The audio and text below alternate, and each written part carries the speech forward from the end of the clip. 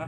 Anh trai ơi, Cái mà anh đang bảo em ý là thiết kế để cho anh mấy cái bồn hoa mà ở trường học ấy, Sân trường học thì nó có những cái loại sau nhá. Em sẽ điểm hết tất cả các loại cho anh. Thứ nhất là ở đây mình có thể trồng cái cây ờ, dừa Dừa cạn thái. Cái này là dừa siêu hoa cho nên anh nhìn thấy cực kỳ rực rỡ luôn. Đó. Có những cái hàng mà, hàng đứng này, Thì cây nó sẽ ngỏng cao như này. Cây cao từ mặt bầu lên khoảng tầm 2, 20 25 cm. Còn cái hàng rủ ấy thì uh, một là mình có thể chậu chảo hoặc không thì mình trồng đất nó cũng rủ ra như này. Thì cây nó sẽ thấp hơn. Nữa nữa là ở đây ý có cả những hàng mà nở tóe loe rồi.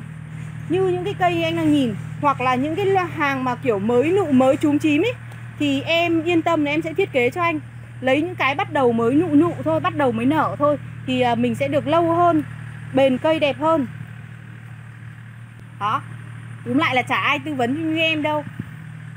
Gọi là bởi vì là với mục đích là bán cây cho khách hàng lâu dài khách hàng mua lần này còn lần khác ưa thích và quay lại.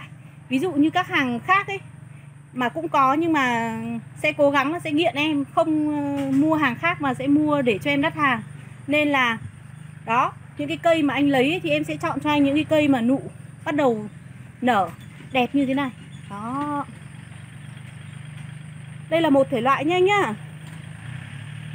Các bạn có nhu cầu mà mua các cây hoa dừa cạn uh, thái cây hoa siêu hoa thì vui lòng liên hệ ạ. 097 797 3535 bạn nhá.